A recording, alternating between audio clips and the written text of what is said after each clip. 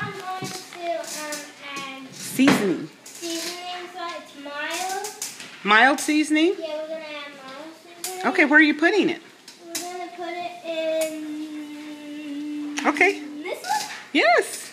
And then we have um, hot seasoning, which is this one. You're going to use a lot of hot in it?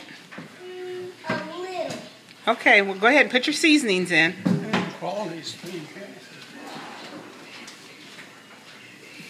Just dump all of it. Yep.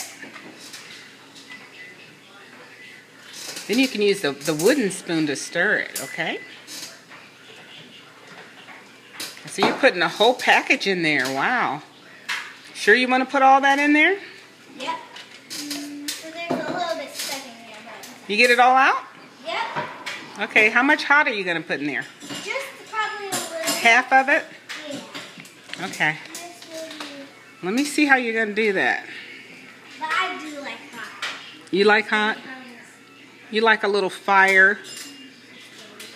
A little, um, what do the, they call it on television? Seasoning, They want a little heat.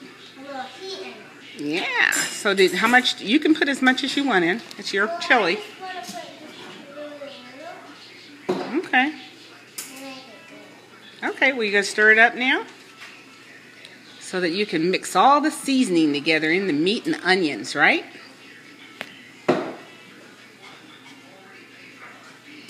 Very good. I'll come back to you.